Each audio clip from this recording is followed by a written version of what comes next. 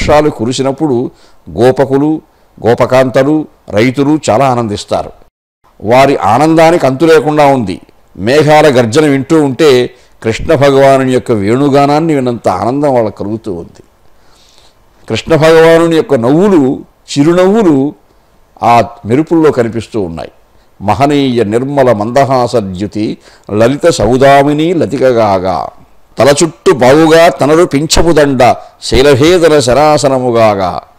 వర్షం కురుస్తూ ఉంటే ఒక్కొక్కసారి ఆకాశంలో ఇంద్రధనస్సు ఏర్పడుతుంది. ఏడు రంగులు కనిపిస్తాయి ఆ ఇంద్రధనస్సులో.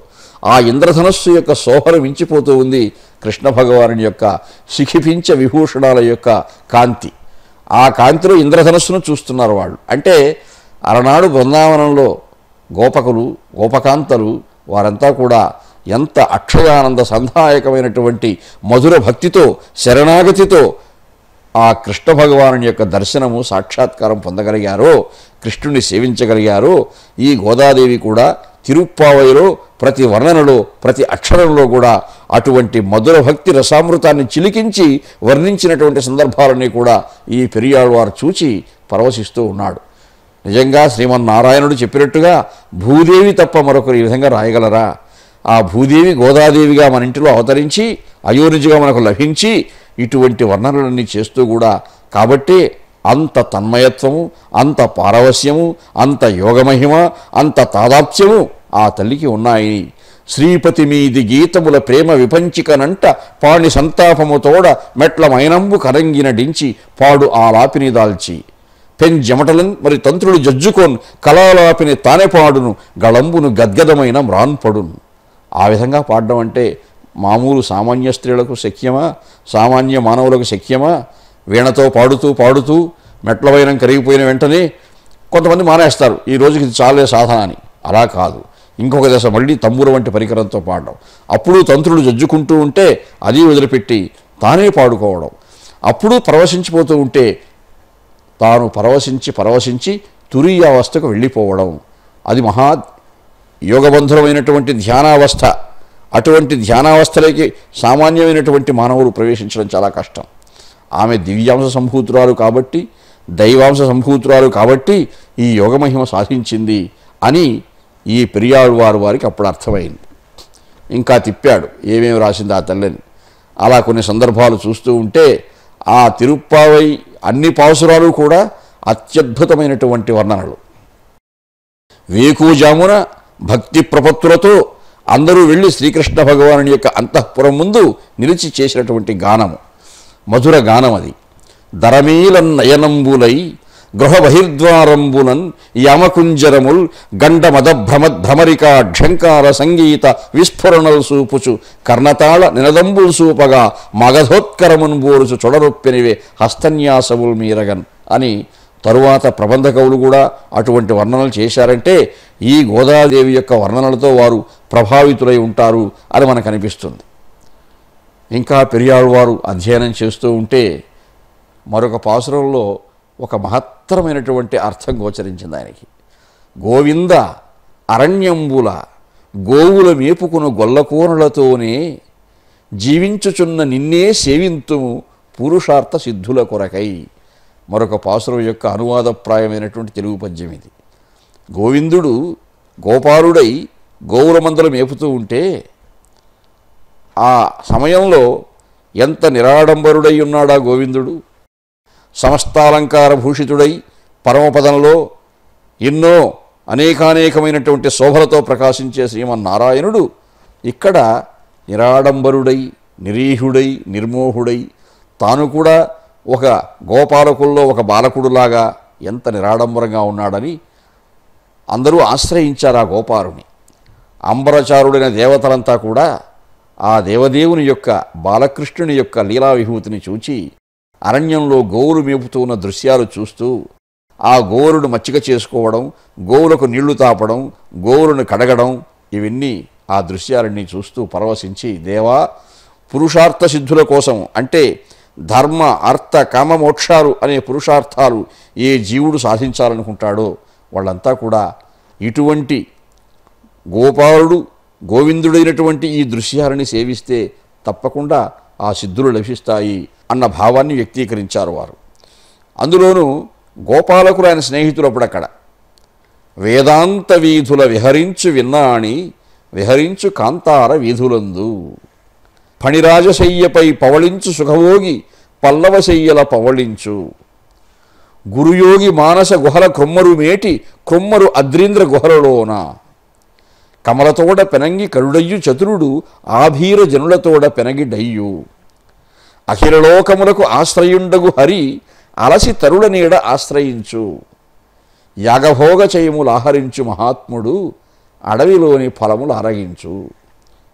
చూసారా ఏ మహోన్నత స్థాయి నుంచి పరమాత్మకు ఆసక్తి కలిగి ఈ గోపాలక స్థాయిలోకి వచ్చాడు అంటే వేదవీధులలో బ్రహ్మాదుల చేత కీర్తింపబడుతూ స్తోత్రాలు స్వీకరిస్తూ ఉన్నటువంటి ఆ దేవదేవుడు కాంతార వీధుల్లో అడవుల్లో సంచరిస్తూ ఉన్నాడు.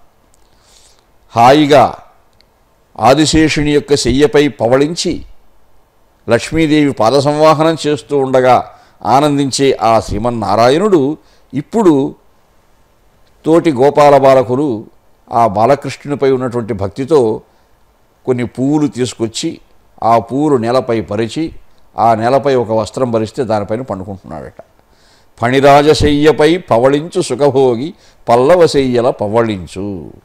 అది ఎంత నిరాడంబరమైనటువంటి భగవంతుడు కూడా తాను కష్టించాలి కష్టపడి పని చేయాలి సత్కర్మయోగి కావాలి సత్కర్మిష్ఠుడై లోకాలకు ఆదర్శం కావాలి. అన్న భావాన్ని వ్యక్తీకరిస్తూ ఆ నిరాడంబరత్వాన్ని ప్రదర్శిస్తూ ఉన్నాడు. అది చూసి దేవతలు సంకీర్తనం చేశారు. శేషతల్పంపై శరించే దేవదేవుడు పుష్పశయ్యలపై పనుకుంటున్నాడే. చారు పటీర హీరతర ఆ శేషశయ్య ఎంత మెత్తగా ఉంటుంది ఎంత మృదువుగా ఉంటుంది అంటే ఆ మృదుత్వాన్ని కూడా పక్కన పెట్టి అడవిలో ఎంత పూలపైన పండుకున్నా కానీ కింద రాళ్ళు అవి ఉంటాయి. కొంత కఠినమైనటువంటి శిలాతలం ఉంటుంది. అటువంటివి అంగీకరించి తాను భగవంతుడు నిరాడంబరంగా ఉన్నాడు అంటే అది ఎంత మహోత్కృష్టమైనటువంటి అంశమో అని దేవతలు ఆనందించారు. మహాయోగుల యొక్క హృదయం అనే గుహల్లో ప్రకాశించే దేవదేవుడు ఈ స్వామి. మహాయోగులు వారి యొక్క అంతరంగాలలో ఏ దేవదేవుని యొక్క దివ్య పాద పద్మాలను స్మరించి స్మరించి తాదాప్యాన్ని పొంది యోగస్థితి వహించి ఆ నైశ్చల్యాన్ని సాధిస్తారో అటువంటి వాళ్ళ హృదయాల్లో ఉంటాడు పరమాత్మ. అలా యోగుల యొక్క హృదయాల కంటే కూడా ఇప్పుడు గోపాలకులతో అడవులు మేపుతూ సాయంత్రం అయిందంటే ఏదో గుహలో నిద్రపోతున్నాడు. నిద్రపోవడానికి చిన్న ఆవాసం కావాలి కదా నివాసం కావాలి కదా ఒక చిన్న గుహలు వెతుక్కొని ఆ గుహలో నిద్రపోతున్నాడు.